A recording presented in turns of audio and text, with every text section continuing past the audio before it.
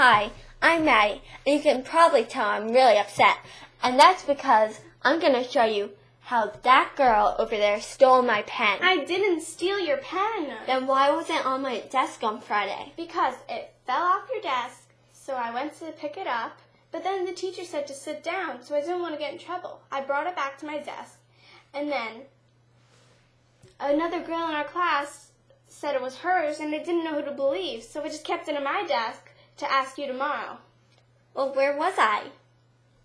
You went home early, remember? You had a dentist appointment. Oh, yeah.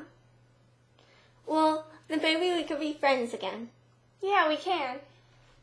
Aww, where's my pen? Here it is. Oh, thank you. Yay! I lied. So what do you want to do? Let's go! Okay.